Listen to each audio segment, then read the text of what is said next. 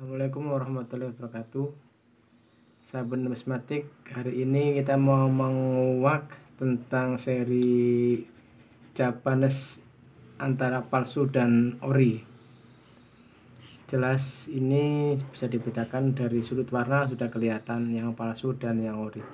Kalau yang ori warna ambil pekat tidak pudar.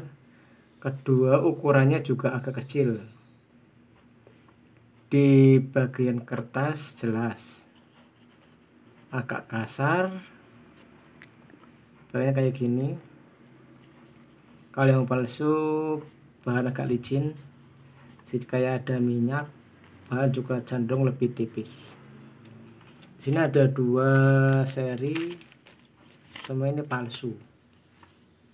Pecahan 10 dan pecahan 5 walaupun kondisinya baru dan ini udah bekas. Warna lebih cenderung lebih tebal kertas juga lebih tebal walaupun ini masih baru. Kertasnya licin tipis. Ukurannya juga lebih besar.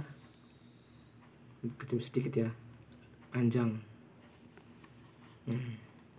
hati-hati kalau membeli uang kuno sekarang banyak yang oknum-oknum yang menipukan walaupun harganya sedikit tapi dipalsukan